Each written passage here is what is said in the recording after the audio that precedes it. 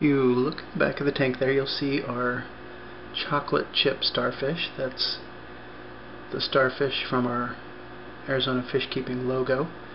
Um, very easy starfish to keep, quite hardy, and unlike a lot of other starfish species, the chocolate chip starfish will take meaty foods. So a lot of other starfish, all they do is roam around your tank and either eat biofilm, some algae, um, some detritus um, of the edible type.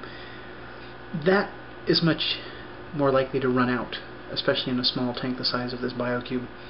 We've had this um, chocolate chip starfish, I don't even know how long now, and he's gotten quite quite large. They can get 5 inches from arm tip to arm tip.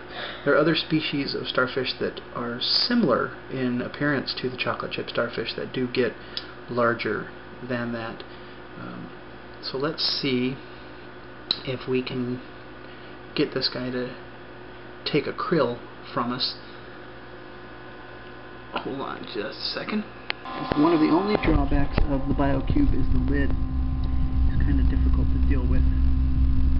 So all you need to do, when you see your little guy uh, at the surface, is place some kind of meaty food. It can be uh, squid, mussel, table shrimp, all, all, sorts of stuff. In this case, it's just um, freeze-dried krill. And he will take that and move it to his mouth using his tube feet.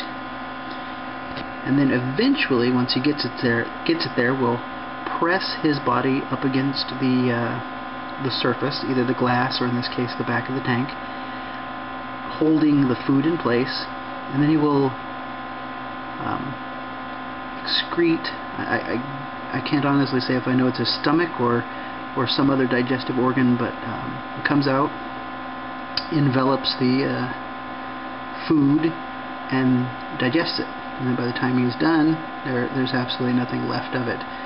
In this way, you can keep your chocolate chip starfish rather healthy and for a longer period of time.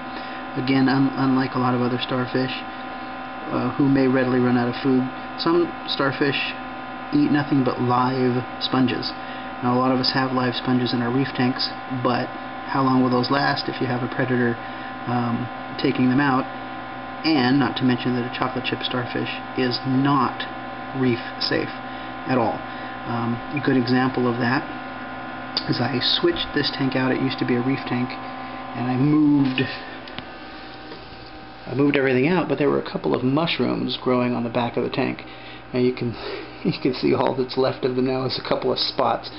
Um, that chocolate chip starfish went right over top of them, excreted his stomach like I said that he would, and when he moved on, they were gone. Um, I also watched him. Um, there was a, a dead snail it manipulated the shell so that the meaty side was up and devoured it uh, completely, leaving a, a clean and, and, hollow shell, which I gave to my daughter for her hermit crabs. Anyway, um, I do recommend chocolate chip starfish.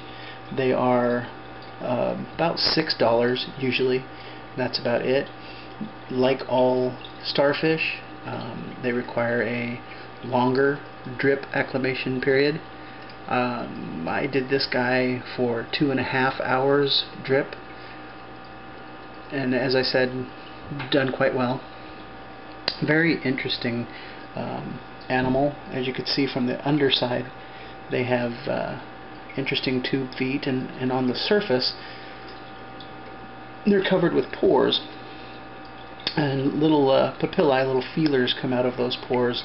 Uh, it's interesting to watch them um, bring those out and, and suck them back in again. So if you're interested in a, a chocolate chip starfish, um, I say give it a try. Just remember, absolutely, positively, not reef safe. Don't put it in your reef tank. Put it in your fish only. Um, otherwise, it's a goner. Now, along those lines, I have heard people say that they will munch anemones. Now these these are Condylactis so pretty strong anemones. I don't know if that makes a difference. Hasn't touched them at all. We also have kind of a, um, a floundering little um, toadstool leather here that, that he is not doing so well because of some damage to the, the base during the transfer process from tank to tank, but um, it's been in with the starfish for a long time and he's never tried to eat it. So there there are um, certain corals. Xenia is another one. So if you want to have a you know a tank with with just a few corals that you know he might not touch them all, but I'd be careful. All right, well that's it for a chocolate chip starfish.